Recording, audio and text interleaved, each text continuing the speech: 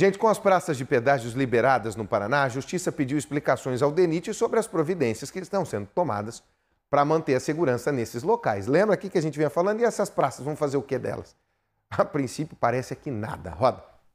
A Justiça quer saber o que o Departamento Nacional de Infraestrutura de Transportes adotou como medidas de cuidado e manutenção das praças de pedágio.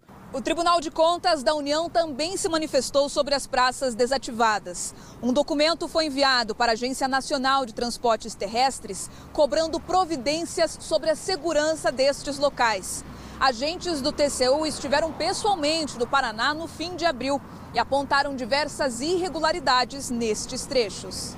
Desde novembro do ano passado, quando acabou o contrato de concessão das rodovias no Paraná, as praças de pedágio estão abandonadas. Se tornaram alvo do vandalismo e até locais para a prática de crimes. Tem que sinalizar à noite, cortar ali, deixar só para a direita, ali onde passa carro, caminhão ali as cancela, liberar, livrar aquilo ali. Com o fim da cobrança, os motoristas passam pelas faixas laterais. As pistas do meio até se tornaram ponto de parada de veículos.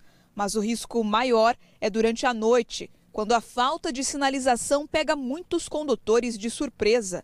No início de abril, um caminhoneiro morreu depois de bater na praça de pedágio desativada. À noite, quando a gente está dirigindo nas praças de pedágio, fica tudo mais difícil, fica escuro, é difícil a gente ver um caminhão, né? Ou a, os caminhões que estão na lateral, na ultrapassagem, algo parecido. Quando você menos espera, você dá de frente com o pedágio. O tempo que você leva para você segurar um caminhão com 25 mil quilos, ou com 30 mil quilos, ou um bitrem, né? É muito difícil, é, é, é bem complicado a gente segurar. Conhece as praças de pedágio? E quem é de fora, que não sabe onde elas estão, que circula aqui pelo nosso estado? É isso, vai, vão ser reaproveitadas essas praças. Foi uma pergunta que eu fiz ali para o DR na última sexta-feira na Rádio Jovem Pan News. Todas essas praças vão ser reaproveitadas. Estão no escopo aí da próxima, da próxima licitação para as estradas aqui do estado do Paraná. Mas e até lá? Pode levar mais de um ano. E até lá?